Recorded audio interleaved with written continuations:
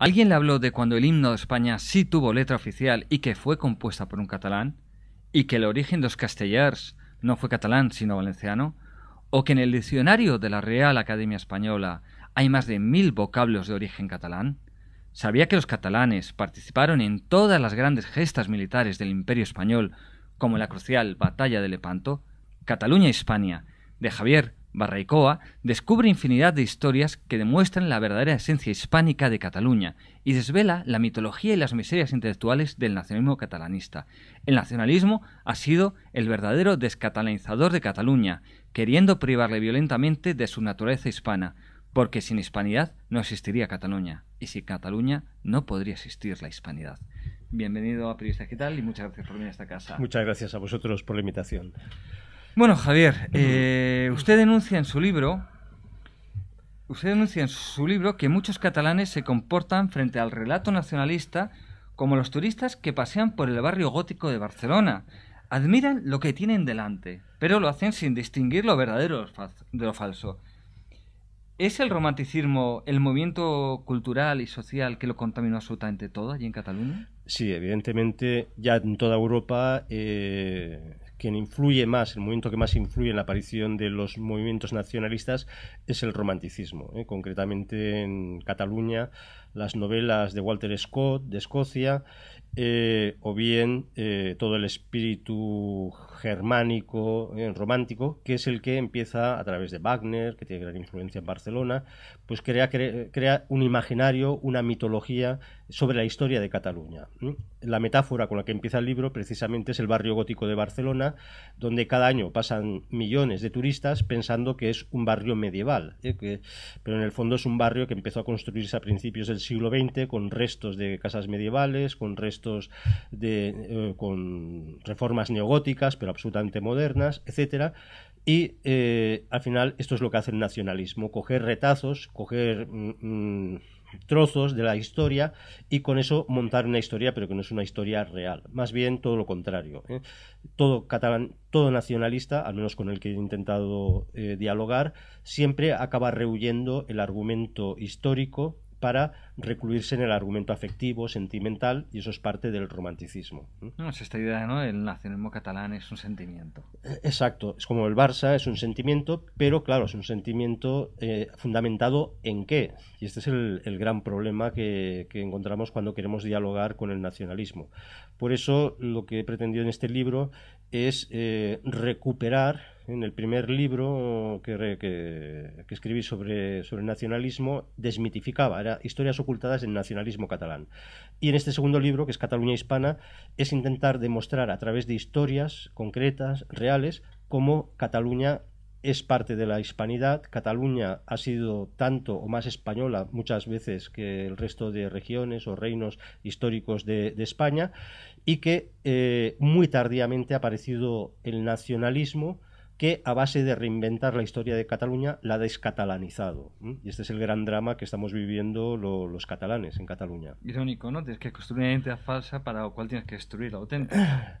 Sí, pero la destrucción de la auténtica historia viene eh, por, ocultación muchas veces, viene por desvirtuación, eh, pero sobre todo son los, los grandes silencios, ¿eh? los grandes silencios o muchas veces mezclar leyendas, mezclar fantasías como el origen de la bandera catalana, eh, etcétera, etcétera, donde bueno, parece que la historia cuadra, la historia es muy bonita, pero al final no dejan de ser mm. leyendas.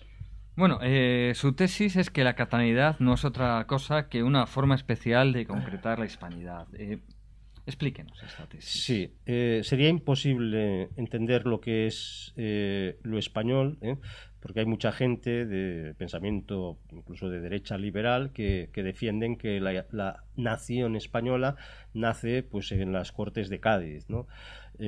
porque se define así lo cual para los nacionalistas es un argumento absurdo porque ellos dicen, bueno, pues nosotros con Wilfred el Pilos o Wilfredo el Belloso ya éramos independientes, por tanto tenemos mil años de historia. Bueno, pero ante eso se puede decir que la nación como concepto moderno es de principios del siglo XIX, con lo cual es que no valen nacionales, naciones, será catalana o española o la alemana de mil, años. Sí, sí, pero como ellos mezclan y piensan que el concepto de nación se puede aplicar hace mil años o ahora, pues entonces dicen, somos más antiguos que vosotros, ¿no? Otros dicen incluso Pues nace con, los reyes católicos. Mm, eh, pues, tampoco, porque yo presento en la tesis de que hay un sustrato hispano, fruto de la romanización, fruto de la cristianización, durante, eh, pensemos que durante siete siglos hay romanización, de los cuales cuatro siglos son de cristianización, eh, hasta que llegan, eh, digamos, cae el Imperio Romano y llegan los visigodos. Ese sustrato, junto con los visigodos, que ya constituyen una unidad donde curiosamente la primera capital estable es Barcelona, del reino visigodo, en el siglo V. ¿eh? Pensemos que en Madrid el primer registro escrito que tenemos de Madrid es un campamento musulmán ¿eh? Eh, en el siglo IX. había población anteriormente, esto es evidente, pero, pero como registro histórico es muy reciente. En cambio, ya Barcelona, antes que Toledo, fue capital del imperio visigodo. Todo este sustrato es, digamos, si comparamos siete siglos de, de romanización incluyendo la cristianización, comparado con siete siglos de, invasión musulmana, mm, no ha influido tanto los siete siglos de invasión musulmana. Significa que ese sustrato es muy potente. Otra cosa es que con la invasión musulmana se desmonta toda la estructura, la unidad espiritual, política, legal que se había conseguido y a partir de ahí, curiosamente, en las crónicas ya se deja de hablar de Hispania para empezar a hablar de Hispania. ¿eh? Esto es en las crónicas astures, sobre todo. ¿eh? Y entonces se, empieza a generar la idea de las Españas. ¿eh? Esto es, y no como algo que sale de la nada, sino como intentando recuperar ese pasado, hilándose con, con, los godos. Y por eso los, los condes de Barcelona se llaman a sí mismo godos, ellos, porque ese es el referente, volver a recuperar aquella unidad perdida. Muy bien. Sin, esto sería imposible entender eh, la aparición de, las Españas, de la España tal como la hemos conocido, y luego de lo español. ¿eh? Por lo tanto, antes de que apareciera Cataluña, ¿eh? entre que tenemos el primer registro de la palabra Hispania hasta que aparece la palabra Cataluña, pasan 14 siglos. Se dice rápido. Son 1400 años. Por lo tanto, ese sustrato hispano es indispensable y es la base común la base común que nos puede hermanar precisamente con los otros pueblos hispanos, ¿eh? porque realmente hay un verdadero y común sustrato. ¿El nacionalismo qué hace? Esto, por ejemplo, historiadores como Ferran Soldevila, en su famosa historia de Cataluña, cuando habla de los visigodos, dice, el ensayo, lo titula el capítulo, el ensayo visigodo, como si los visigodos durante tres siglos, bueno, eso, nada, eso es una cosa que, bueno, salió más mal que bien, ¿eh? y por lo tanto no, no tiene ninguna importancia. ¿Por qué? Porque entonces así su historiografía tiene, tiene eh, entre comillas, consistencia, porque parece que Cataluña sale de la nada. No, no, Cataluña no sale de la nada. Hay algo antes. ¿eh? Bueno, bueno, demos las gracias que no crean un imperio catalán que dominaba toda la península ibérica, que también lo podrían decir. Lo podrían decir. Bueno, hay, hay bueno, y, no hay, hay historiadores que no lo afirman, pero lo añoran, ¿eh? porque, digamos, ellos reivindican que, que buena parte de la Aquitania que es verdad que también fue visigoda, pero se, acaba perdiendo, eh, pues siempre, eh, el país DOC, al sur de Francia, pues siempre ha sido una reivindicación eh, del catalanismo. entonces es muy curioso porque si uno coge Barcelona y compara, o sea, el reino visigodo al principio estaba dividido, había era muy desequilibrado, entonces a veces el centro político estaba en Narbona y a veces en Toledo. Y entonces todos los obispos de la pre-Cataluña, porque todavía no, había, no existía la palabra Cataluña ni la conciencia de Cataluña, pues Narbona estaba a 250 kilómetros y Toledo a 700. ¿eh? Pues todos los obispos de esa pre-Cataluña siempre iban a los concilios de Toledo. ¿eh? Y eso, eso que significa que era un nivel de sacrificio, de esfuerzo muchísimo mayor, pero eh, realmente se sentían mucho más identificados con todos los obispos de la península que no con los del otro lado de los Pirineos. Y no son 700 kilómetros con puente aéreo. no, no, no, no, Son 700 kilómetros muy duros. Y en todos los 18 concilios toledanos que tenemos registrados, en todos hay participación de, obispos de, las comarcas que luego serán Cataluña. O sea que, ese es el sustrato que, reivindicamos. Eh, bueno, vamos a entrar un poco en materia del libro. ¿no? Eh, a ver, ¿Cómo es eso, el libro, de que hasta la llegada del catalanismo a ningún catalán se le ocurrió llamar a su hijo Jordi? eso, es, eso es más que evidente, porque... Eh, eh, eh, explico la historia, es un poquito larga, si, si me permites, pero es muy, Es muy bonita eh, porque hay una profundísima tradición en Cataluña eh, jacobea y paulina. ¿Qué significa?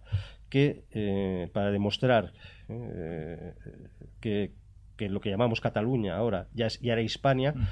En la carta de San Pablo a los romanos se cita dos veces que Pablo dice, ahora marcho a España. Y cuando marcha a España, ¿dónde va? pues según la tradición, desembarca en Tarragona, por lo tanto mm. Tarragona ya es, ya, ya, es la capital más importante eh, de, la provincia tarraconense, evidentemente. Eh, a lo largo de los siglos, el, propio obispado de Tarragona tendrá el primado de las Españas, eh, que se lo debate con, con, Toledo y con la ciudad de Braga, pero hay un claro sentimiento hispano. ¿no? Y entonces, eh, que me preguntabas, perdona. esto que no se llamaba, que a ningún catalán se hubiera corrido sí, Sí, exacto, perdona, eh, me he ido.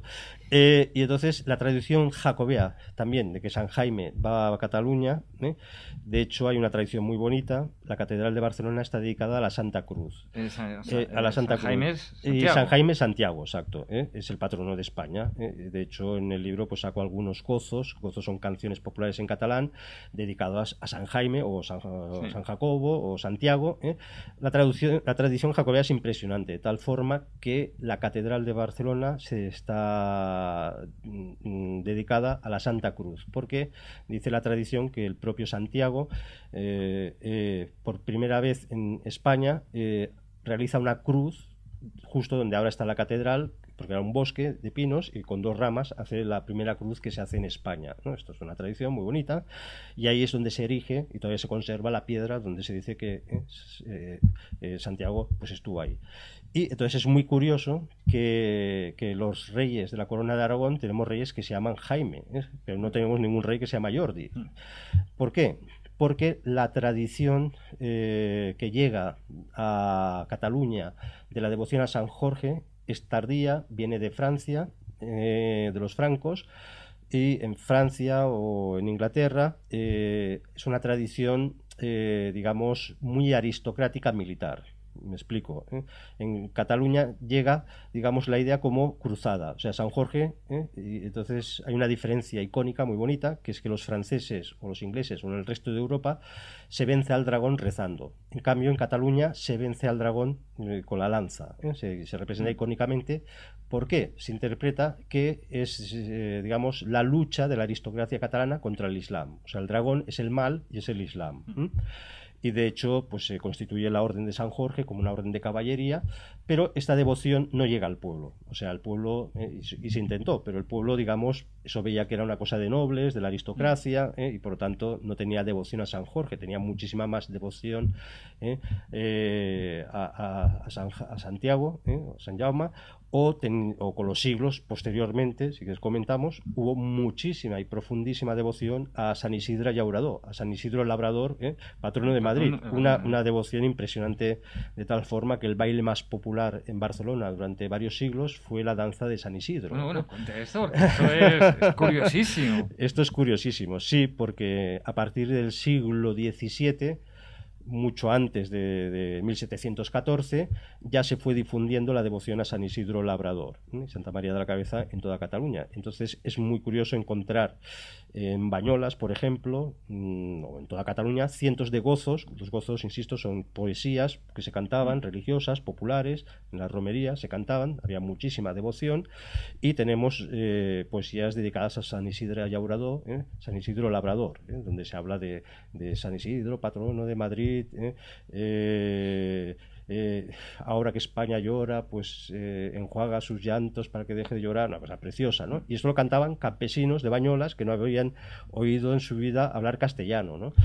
Y en, Barcelona, pues esto, en la plana de Barcelona, pues se bailaba la danza de San Isidra, que era digamos, la danza más noble, digamos, la de más prestigio, porque no se intercambiaban parejas y era realmente, pues, digamos, la más seria, la más formal, la novia, la chica llevaba un ramo, el chico un sombrero de copa, bueno, una cosa, ¿eh? pues se bailaba cuando nadie conocía la sardana. ¿eh? La sardana fue una imposición muy tardía del nacionalismo. Y con San Jordi pasa lo mismo. Hay estudios de, cómo se bautiza a los, a los catalanes durante varios siglos, en varias zonas donde se ha podido coger registros, y no se encuentra en la Edad Media nadie que bautiza a su hijo con el nombre de Jordi. Hombre, algún caso habría, ¿no? No, no, no hay casos. No hay casos. Donde se ha estudiado localizado, no hay, no hay casos, ¿eh? porque, porque no. Mm, mm, ¿eh? Solamente es a finales del siglo XIX cuando se empiezan, eh, por obra y gracia del nacionalismo, se retoma la figura de San Jordi, pierde ya el sentido de religioso, el dragón ya deja de representar el Islam, sino que el dragón es el mal pero ese mal queda en abstracto, es el romanticismo, ¿eh? que deja libre imaginación, entonces puede interpretarse que el mal es Castilla, que el mal es la invasión castellana, que el mal eh, queda todo en abstracto. y entonces, sí, o el mal es España, ¿no? Sí, no hace tanto, hace unos meses, en un periódico de Barcelona, un columnista, hablando de un conocido periodista de Madrid, el director de un periódico madrileño, decía... Mm, esperemos que pronto llegue un San Jordi que nos libre el dragón. De este le llamaba dragón directamente a este periódico. Esperemos que. Cual a mí me parece sumamente alarmante que, que en un periódico se diga eh, lo que es desde mi punto de vista, pues, una, pues insinuación de a ver si alguien le pega un tiro al tipo este. Sí, sí, pues esto ya a finales del siglo XIX ya, ya empieza a ocurrir. Y esto se debe, como hemos dicho antes, también al romanticismo. Hemos de pensar que la ciudad donde llega con mayor fuerza Wagner, la música wagneriana, es en Barcelona, arrasa, toda la élite catalana, barcelonesa sobre todo, eh, se entusiasma con Wagner como una especie de dios, una nueva religión estética del arte. Las magníficas mansiones modernistas, en todas aparecen la representación de las figuras de las Walquirias, etc. Y entonces la idea, eh, al final, hay una extraña mezcla entre el, personaje católico, el santo San Jorge, con Parsifal, ¿no? Entonces se mezcla, eh, eh, digamos, simbólicamente los dos personajes. De hecho, si vas al Palau de la Música, el famoso Quemilleta esquilmado, ¿eh? es en una esquina te encuentras una magnífica representación de San Jordi, pero te encuentras a Wagner, te encuentras dentro eh, Walquirias cabalgando. es esa mezcla ya secularizada, donde la religión ya no es la religión católica, sino que es otra cosa. Y entonces el nacionalismo es cuando empieza a bautizar a sus hijos con el nombre de Jordi. ¿eh? Pero hasta finales del 19 había muchos más catalanes que se llamaban Isidra o Isidro ¿eh? que, no, que, no, que no Jordi. ¿eh? Es así. Curioso la Isidra. dentro de estos episodios que, les gusta ocultar, que son dice a los catalanes, a los nacionalistas catalanes, está el hecho de que el himno de, España sí tuvo una letra oficial y su autor no, no era de Madrid precisamente. No, de Madrid eh, ni siquiera buena parte de las obras arquitectónicas que, o esculturas que tiene Madrid son de madrileños, son de catalanes. ¿eh? Si, si, vas al magnífico edificio del Ministerio de Agricultura cerca de Atocha, ¿eh?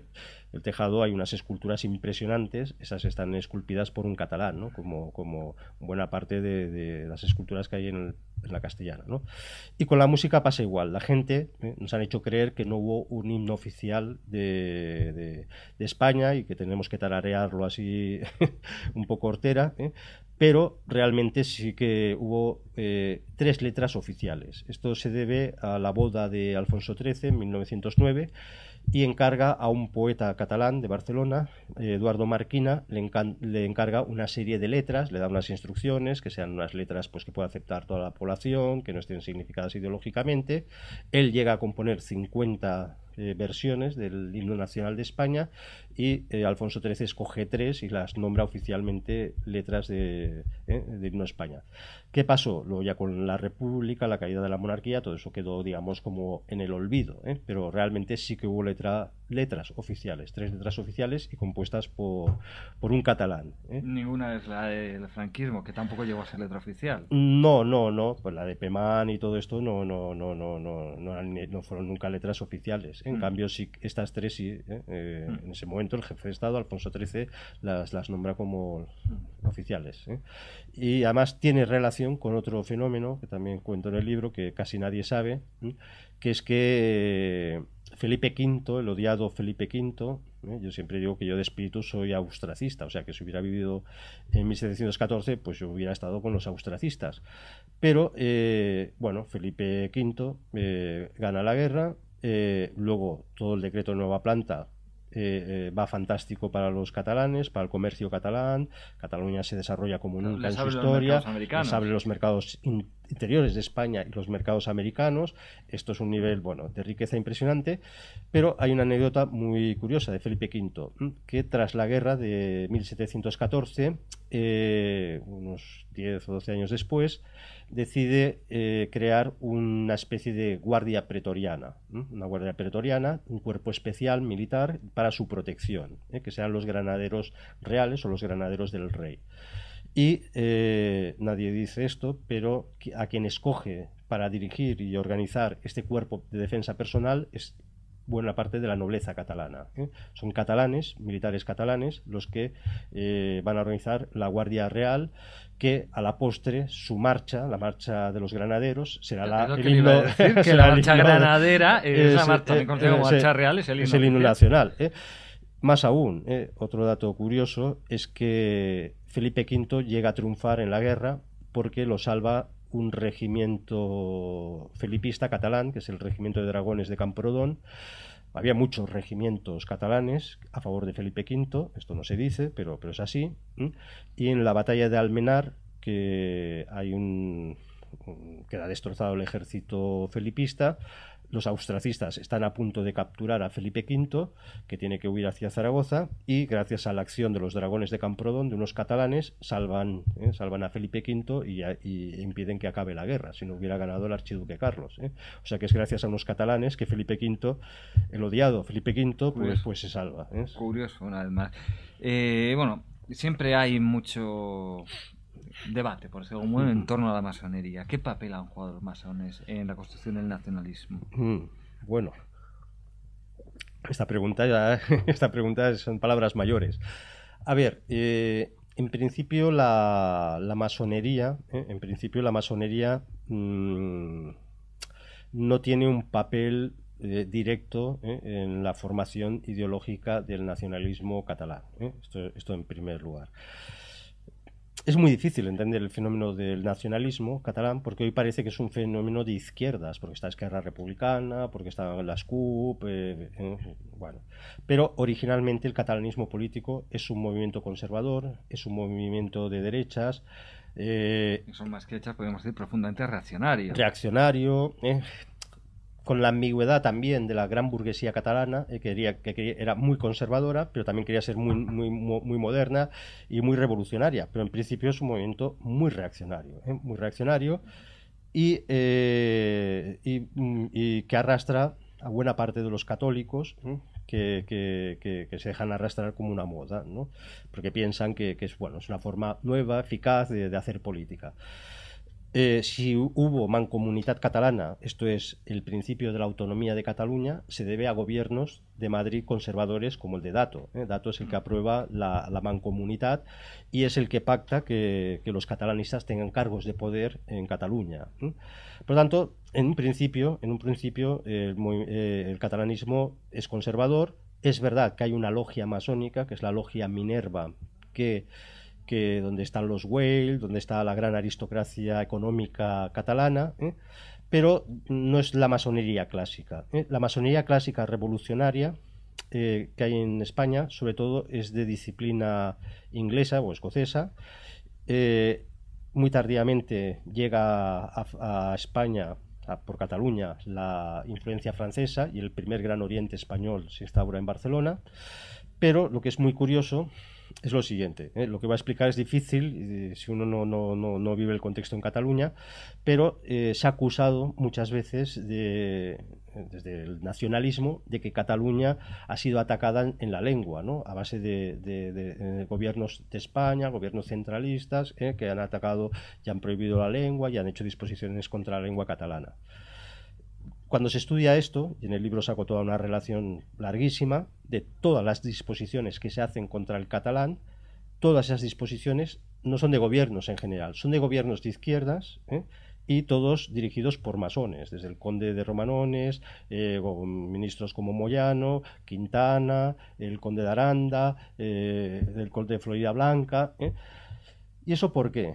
Porque en el fondo tiene una lógica. La lógica es que eh, se quiere crear un gran estado, un gran estado liberal, que significa jacobino, en aquella época liberal es centralista, jacobino, liberal sería de izquierdas para aquella época, donde eh, hay que unificar, igual hizo, igual que hizo Francia, pues hay que unificar eh, todo, todo el sistema legal, todo el sistema lingüístico, etcétera.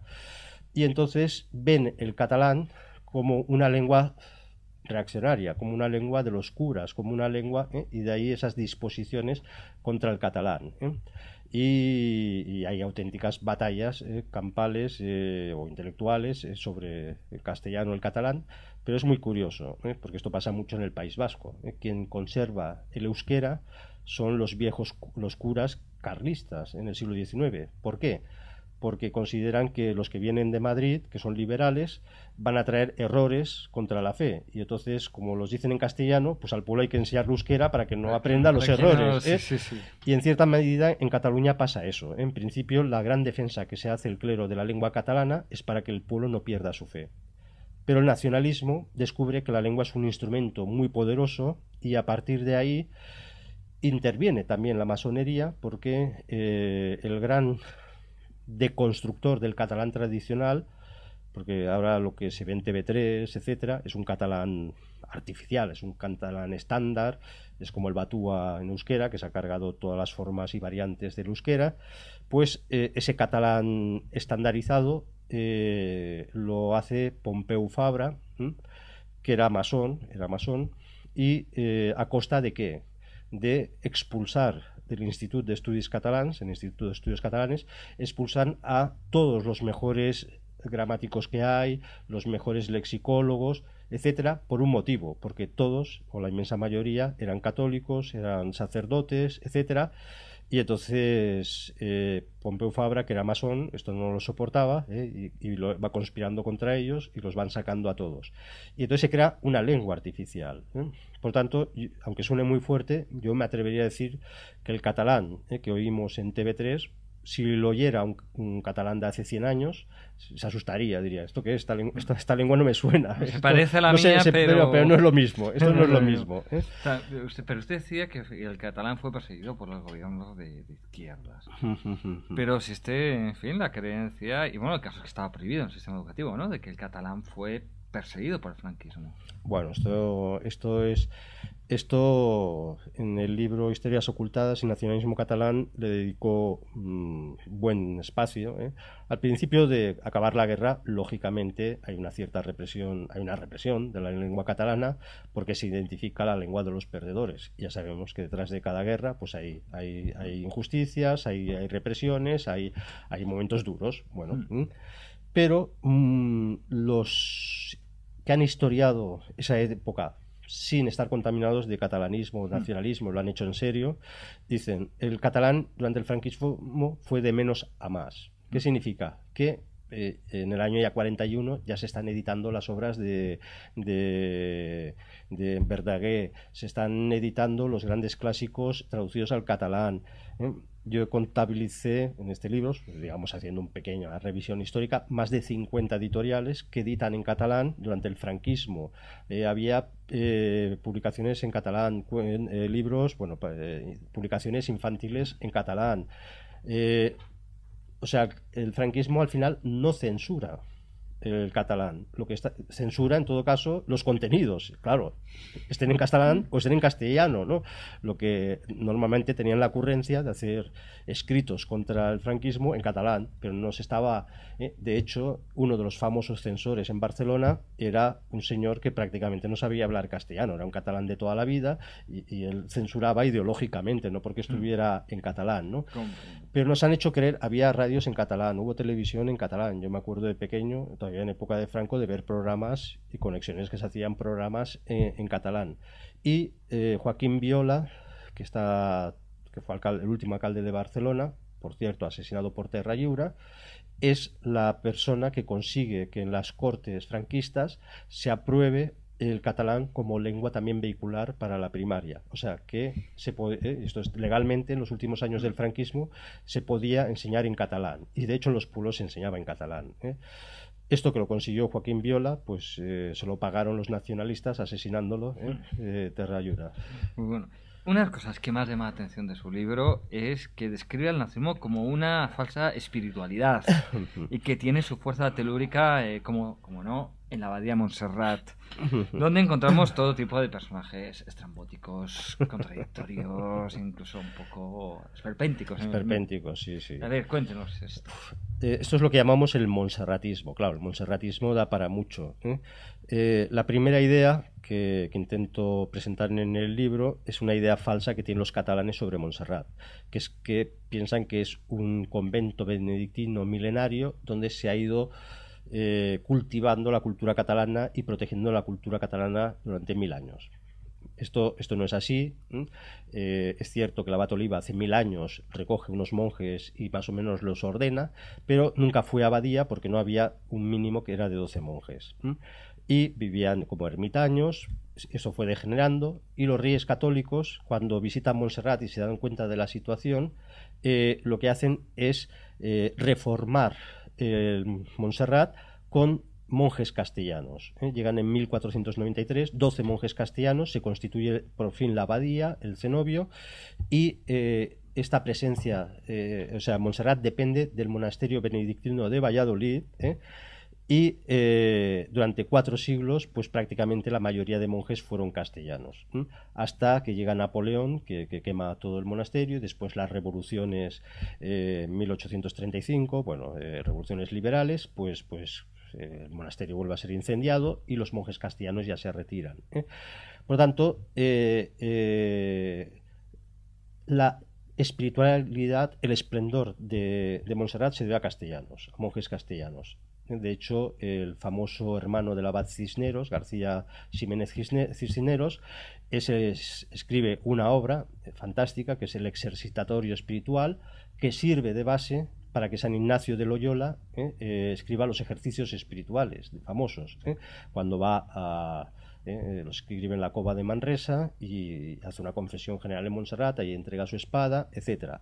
Y es muy bonito porque en Cataluña un vasco eh, con monjes castellanos eh, genera posiblemente uno de los libros de mayor importancia en toda la historia de la cristiandad. Eh. Si hubieran estado solo catalanes, no hubiera pasado, ahí no hubiera salido nada. y esa es la riqueza de la hispanidad, saber, digamos, el genio de cada uno de los pueblos, saber compartirlo y saber enriquecerse.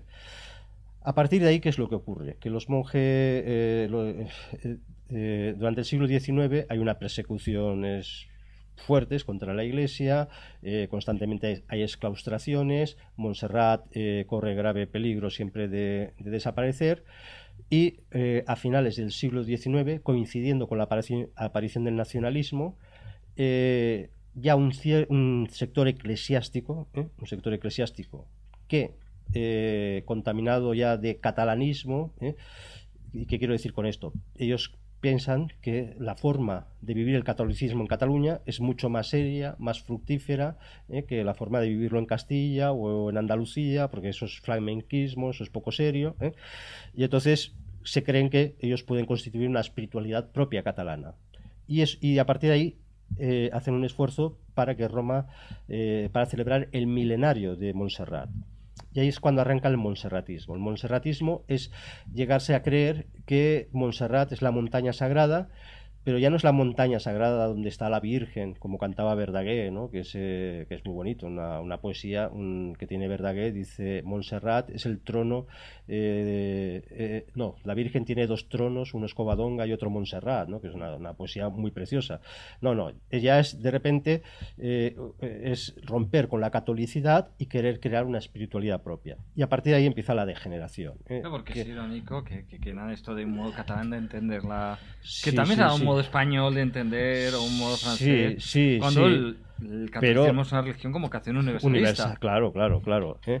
El galicanismo es lo peor que le puede ocurrir a la religión católica. Y ocurrió en Francia, eh, en Castilla nunca ha habido galicanismo en este sentido. De, en cambio, sí que ha habido en Cataluña por culpa precisamente de esas influencias románticas que tardaron mucho en llegar a Castilla y llegaron solo pues en algunos ámbitos literarios, pero nunca, nunca penetraron en la estructura eclesial. ¿eh? En cambio, el drama es que en Cataluña sí.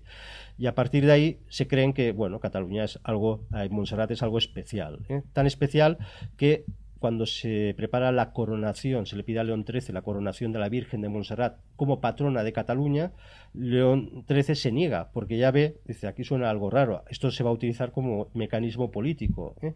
y autoriza eh, que la Virgen de Montserrat sea coronada como eh, reina de las cuatro provincias catalanas, no de Cataluña. León XIII no era tonto, porque ya, ya, ya, decía, aquí, aquí va a pasar algo. Bueno, el monserratismo va avanzando, eh, empieza a generarse como proceso de secularización auténticas aberraciones. ¿eh? Eh, todavía hay una asociación en Montserrat, que es Cambrós, que se reúnen cada 11 de cada mes, cada día 11, para hacer avistamientos ovnis y a ver si alguno sufre alguna abducción. Hay gente que cree que las cuevas de Montserrat es una donde se refugiaron los atlantes y hay una puerta de entrada, no sé, bueno, en fin. En Montserrat se reúne una cantidad de locos impresionantes que en el fondo, ¿qué están haciendo? Están rellenando un espacio que la religión católica ha dejado. Y, ese, mm. y eso se ve mucho durante el franquismo, cómo eh, eh, se convierte en un núcleo de resistencia. De hecho, eh, Convergencia Democrática de Cataluña se funda en Montserrat, dirigido por sacerdotes y por familias cristiano-catalanistas, etcétera. Sí. pero entonces, esto es lo que explicaría un poco todo lo que nos ha venido contando hasta ahora, quitando los ovnis. Eh, que haya sido la Iglesia catalana la más interesada en salvar el catalanismo en todo momento y a toda costa? Mm, sí. Eh, después de la guerra civil, eh, el catalanismo está absolutamente derrotado. Está absolutamente derrotado. Eh, Companys no hace más que ser un monigote al final de la guerra civil. El gobierno de España está en Barcelona con Negrín. en el exilio eh, ya Esquerra Republicana es incapaz de tener una estructura mínima, los que tienen fuerza es el Partido Socialista Unificado de Cataluña, que es el PSUC, porque tiene el apoyo soviético. El catalanismo está desprestigiadísimo, hay una cantidad de testimonios de exiliados de la época catalanistas despotricando contra Tarradellas, contra Companys. El catalanismo está muerto, ¿eh? fue un mm. proyecto políticamente muerto con la guerra civil, pero resurge precisamente porque desde familias franquistas, ¿eh? Eh, familias que, consiguen recuperar sus industrias o hacer dinero durante el franquismo, mm. familias muy influyentes, eh, que van a ambientes de formación clericales, porque son familias católicas, pero envían a sus hijos a escuelas laico-cristianas o laico-catalanistas con algún sacerdote eh, eh, catalanista, como la escuela Virtelia, donde estudia Jordi Pujol, por ejemplo, etcétera, en las escuelas de élite de Barcelona, y a partir de ahí empiezan a codearse con los marxistas. ¿Para qué? Para hacerle, eh, para fastidiar al franquismo que esto se puede interpretar incluso como, como desde Freud, ¿eh? como matar al padre. ¿eh? Esto es un fenómeno en Barcelona digno de ser estudiado. ¿eh? Como muchos hijos de familias franquistas se hacen marxistas y catalanistas simplemente para fastidiar a su padre, ¿eh? porque, porque su padre tiene mucho dinero, ellos se lo pueden permitir, si les meten en la cárcel al cabo de un día o dos están, mm. están sueltos porque el padre es influyente y llama a cualquier magistrado o a la policía. claro, claro. Y esto ocurría con, con, hubo manifestaciones de curas progresistas en Barcelona, varias manifestaciones sino que aquellos años curas que ya no se ponían nunca la sotana, pero se iban a manifestar delante de las comisarías con sotana, ¿no? Entonces, claro, la policía decía, estos no le podemos pegar, ¿no? Esto no podemos hacer nada. ¿Qué hacemos con estos, no? Entonces estaban absolutamente descolocados. Pues bien, de este clericalismo eh, eh, que tiene nombres y apellidos, eh, las congregaciones marianas de los jesuitas, como hemos dicho, las escuelas Virtelia, movimientos scouts que son rehechos por, por por Musemballes, bueno, una serie de sacerdotes catalanistas, ¿eh? Pues de todos estos movimientos eh, eh, se, crea, digamos, lo que sean los cuadros dirigentes luego de la democracia. Es muy curioso y se puede, insisto, en el libro saco algunos datos con nombres y apellidos, como de estos movimientos mm, eclesiales, pues salen eh, a la larga rectores de la Universidad de Barcelona, salen eh, directores de bancos, salen directores de grandes fundaciones, salen eh, profesores universitarios, luego consejeros de la autonomía, líderes de los cuadros de CIU, etcétera. Entonces, eso es la secularización. Como lo que en un principio era catequesis se acaba convirtiendo claramente en política. No deja ser curioso que estamos viendo en estas últimas cuestiones que hemos tratado, nuestra evolución del nacionalismo catalán de un conservadurismo católico a usted nombraba el PSUC, ¿no? Hacia una cada vez mayor radicalización de izquierda, porque ya el PSUC nos pasado a la Esquerra Republicana de Cataluña y en su última versión al al nen de la chancleta, eh, que es el señor que se llama de las CUP. Fernández Ramos, por cierto, eh, gran apellidos catalanes. Eh. Fernández de, de, las CUP, sí. con lo cual vemos esa evolución, es curioso, ¿no? Del conservadurismo sí. a una cada vez mayor radicalización de izquierda, que encontramos, de hecho, una, de nuevo una contradicción igual que en lo del catolicismo catalanista, que es, la izquierda supone que es internacionalista y sin embargo aquí, como en muchos otros sitios, hay que decirlo, sí, sí, sí. apuesta por el nacionalismo más radical. Sí, pero esto, esto tiene una lógica y quien estudie la historia, yo a los políticos, los pocos políticos que conozco, eh, les digo, estudiate historia, porque lo que va a pasar es lo que ya ha pasado, ¿no? Y entonces, por ejemplo, a políticos de CIU les digo, se os van a comer los de Esquerra, o ya les decía, se os van a comer los de Esquerra, y a los de Esquerra se les comerán... ¿Por qué? Porque esto ya ha pasado a la historia, ¿no? Ya ha pasado a la historia. Eh, el primer partido político catalanista es la Liga Regionalista, que es pues, profundamente conservadora, representante de los intereses de la burguesía catalana. Son ellos los que crean el discurso del odio, empiezan a acusar a algunos gobiernos de Madrid. Pero ellos nunca se creyeron el catalanismo, nunca se lo creyeron. Ellos, evidentemente, sabían que, Madrid era Madrid, el gobierno era el gobierno y España era España. Pero les iba bien porque siempre conseguían pues, ventajas eh, de los gobiernos de Madrid, que eran muy débiles. Esto es lo que hizo la Liga, pero fue creando un ambiente catalanista tan potente que ya no lo controló. Y esto es lo que en 1931 recoge Esquerra Republicana. Cuando nadie se lo pensaba, después de la dictadura de Primo de Rivera, nadie piensa que, que Esquerra pueda hacer nada, porque es un partido que se funda tres semanas antes, todo el mundo piensa que va a ganar la Liga, el Partido Conservador, pues, pues queda fagocitado por la izquierda, porque tú has creado ya un Frankenstein, un monstruo que anda solo, ¿no? Sí. Y esto el catalanismo eh, lo ha hecho. Y esto se ve muy bien en varios personajes.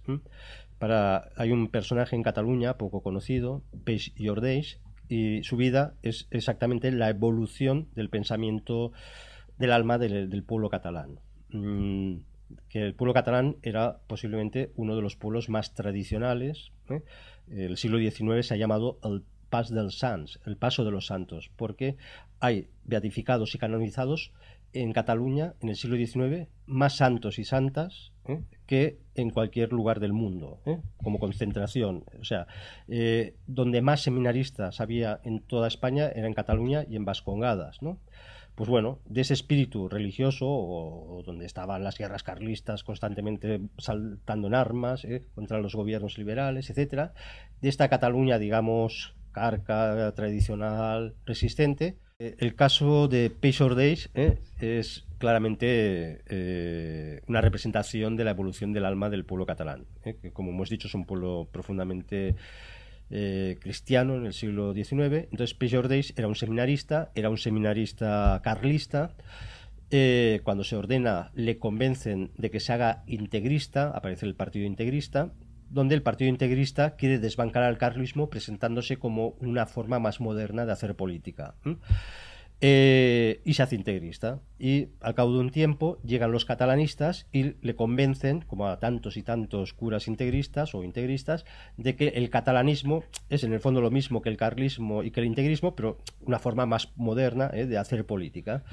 y entonces, quiero, sí, ser, sí. quiero ser un carca moderno. Quiero ser un carca moderno, claro, claro. Esto es la contradicción del catalanismo, que ya lo dijo Jordi Pujol. Dice Jordi Pujol en una conferencia en el Ayuntamiento de Barcelona en 1984, dice, la conciencia nacional despierta cuando nos dimos cuenta que queríamos ser modernos y España no nos dejaba, ¿no? Entonces, para que reivindica la historia y sí. para que reivindica bueno. la tradición, ¿no? Si, si, usted quiere ser moderno, pues sea moderno, bueno, ¿no? Pero volvamos a este viaje sí, del sí. integrismo al Sí, y entonces se hace catalanista. Entonces, cuando cura catalanista y cuando ya está ejerciendo de cura catalanista, eh, pierde la, la, fe, pierde la vocación y se seculariza.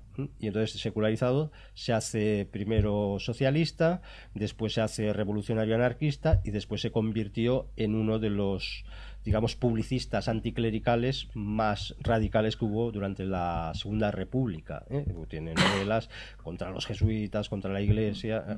Pues esa es la evolución, ¿no? De cómo eh, en una persona se refleja lo que pasó en Cataluña en un siglo, ¿no? De pasar de ser una de las regiones de España más profundamente religiosas a una de las más profundamente anticlericales. Bueno. Pero, pero ahí está el, el gozne o la bisagra es el catalanismo, porque el catalanismo es es un disimulo, de, es un, es un símil del, tradicionalismo, pero que en el fondo contiene eh, las semillas revolucionarias. ¿no?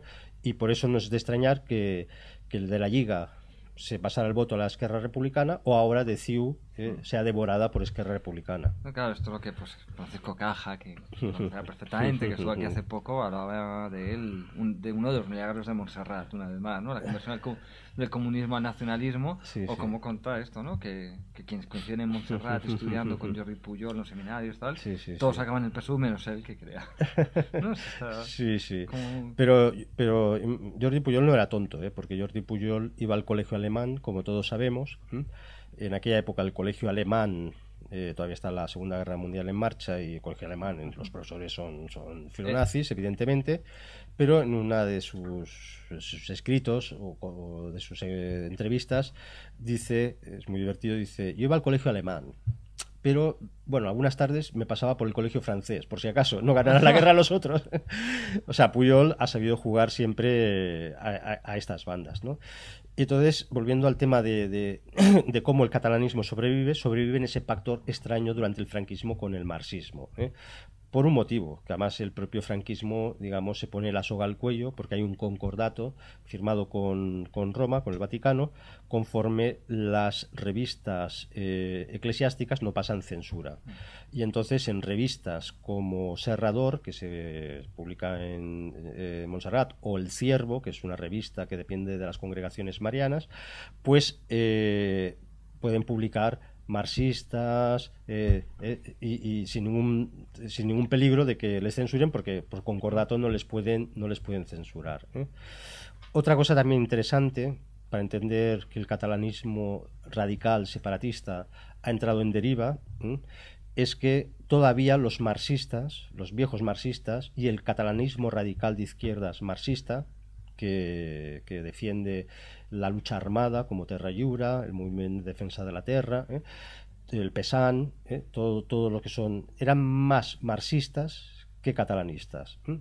Y entonces ocurre una cosa muy curiosa, que en todos los manifiestos iniciales de este catalanismo radical siempre se dice lo siguiente, España es un Estado burgués, y entonces no podemos hacer la revolución socialista en Cataluña hasta que no consigamos la independencia.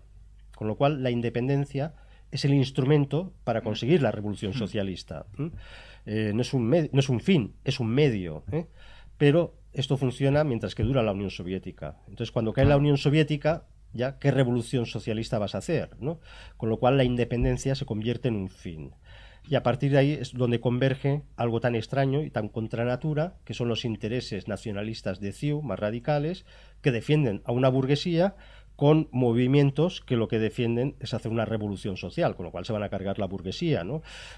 que pacten, ahora una, una pregunta para el referéndum, CIU, que representa lo más rancio de la burguesía catalana, ya decadente, con una esquerra republicana, que es un partido asambleario, que por sí mismo profundamente anárquico, con las CUP, que es mm, eh, en algún ayuntamiento me han dicho que las, el concejal de las CUP ha puesto el retrato de Lenin en pleno siglo XXI, eh, pues eh, hombre, eh, pues, pues, ¿qué va a pasar ¿no? con una independencia? Que va a haber una revolución socialista para liquidar la estructura burguesa ¿eh? de Gallina Blanca y, de todos, de el, Cava Catalán y todo. claro, es un absurdo, es un absurdo. Y es con, tan contra natura que eso solo puede acabar mal. Bueno, pero siempre se está en la tentación de pensar que no puede domesticar al monstruo. No, el monstruo, eso lo creía la Liga creía que podía haber domesticar a, Esquerra Republicana. y nunca la pudo domesticar porque Esquerra Republicana cuando empieza la guerra para sobrevivir se suma con los anarquistas, después los traiciona a los anarquistas y se alía con los comunistas y purga a los anarquistas. Eh, mm, el monstruo cuando ya ha arrancado eh, no, no, no se puede, es muy difícil. Eh. Por eso hay una especie de extraña ensonación, yo llamo una alucinación colectiva. Uno de los últimos capítulos lo dedico a esta especie de alucinación colectiva, donde eh, mucha gente cree que la independencia de Cataluña sería posible, además pacíficamente, un divorcio que no generaría ningún resentimiento en España, con lo cual no, habría boicots económicos, que se entraría en Europa, que se elevaría la esperanza de vida a cinco años. Se ha dicho, esto se ha escrito, eh, que los sueldos medios de los catalanes serían 3.000 euros.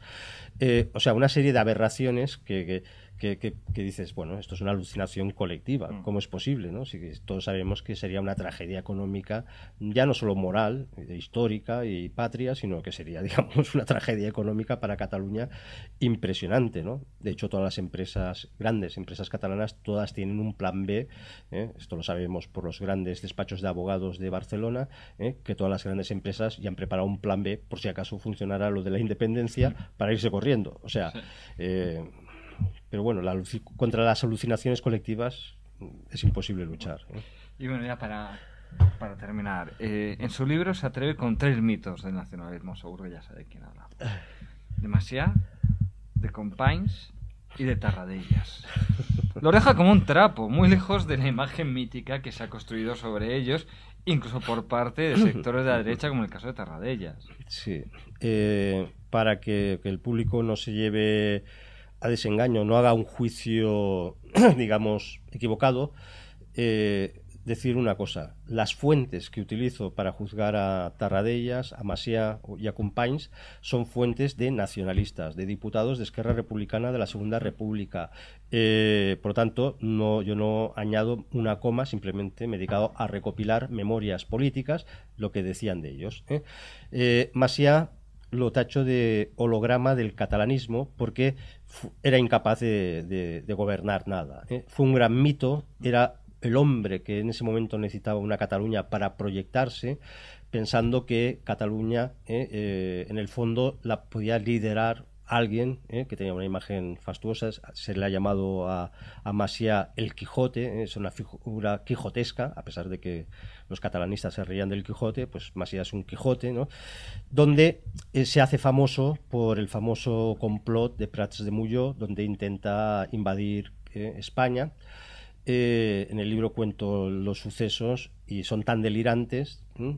Masia quería sublevar toda Cataluña contra España, pero en realidad cuenta uno de los protagonistas de la época, que solamente eran unos 50 hombres en París, eh, a los cuales les hacían hacer una serie de ejercicios bastante absurdos, como marchas, cuenta Sanauja, que era uno de estos catalanistas separatistas, que se creía que había un ejército real para detrás de Masia, y cuenta que hicieron una marcha donde iban 30 soldados catalanes, entre comillas, ¿eh? saliendo de París.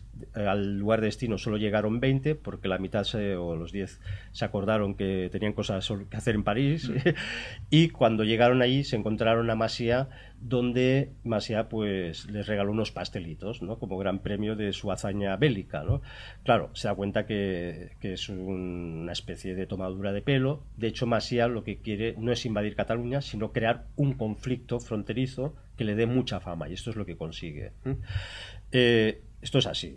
Eh, digamos, la Prats de Muyó fue la mayor tomadura de pelo de la historia, eh, porque se contaron con espías italianos, del eh, fascistas, un tal Garibaldi, que, trajo unos cuantos voluntarios para dar un poco de empaque a, eso. Pero bueno, fuera de eso, Masia era un personaje que se hizo famoso, sin quererlo gana las elecciones en la Primera República y a partir de ahí ya muere enseguida, prácticamente iba a todos los pueblos y a todos los pueblos les decía, el, su gran lenguaje político, eh, todos tendréis una casa y un eh, la casa y el hurtet, eh, una casa y un huertecito, y, ahora ya podréis tener dos burros. Bueno, no hay, vamos, ningún discurso de calado político de fondo. Más allá era una imagen que necesitaba el pueblo catalán, y por eso triunfa.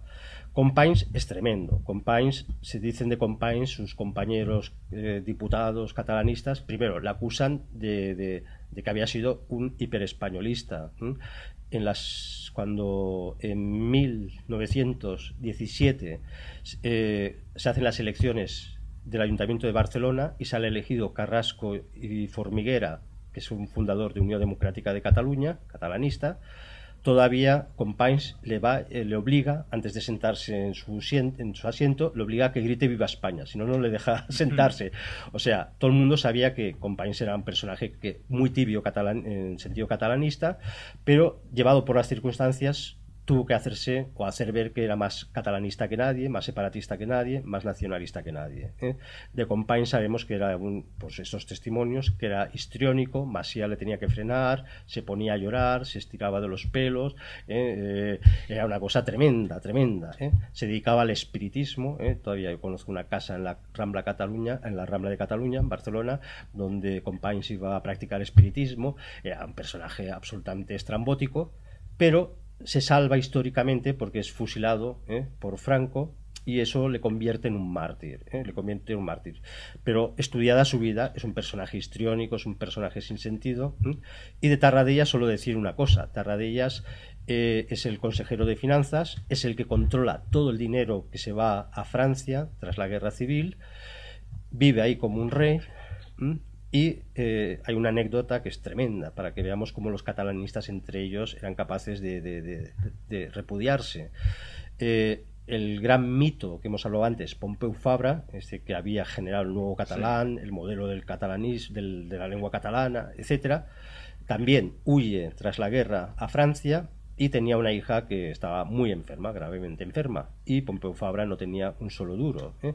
Y entonces fue a pedirle a Tarradellas, le fue a pedir dinero para el médico, ¿eh? a ver si le podía ayudar, y Tarradías le dijo que no tenía ¿eh? Eh, dinero y entonces lo despachó por las buenas. Esto es para que nos demos cuenta del calado de, estos personajes. Se han mitificado brutalmente, pero cuando... Y, curiosamente ahora tras muchísimos años, ahora se está empezando a reconstruir esta historia, de verdad. Y están apareciendo historiadores muy serios que, que, están dando la versión real de, de estos personajes mitificados. Bueno, pues con estos personajes mitificados, mmm, creo que es un buen momento para terminar esta conversación, darle las gracias por haber venido una vez más a Periodista Digital y desearle la mejor suerte del mundo con la venta de este segundo libro, que espero pues que vaya esperemos muy bien. Que, que, haga mucho bien y que ayude a descubrir Cataluña a los propios catalanes y al, resto de españoles. Y si, se, y si se atreve a publicar un tercero para completar una trilogía, pues estaremos encantados de volver a tenerla aquí. Perfecto. Muchísimas eh, gracias. muchas gracias, eh, todo un placer.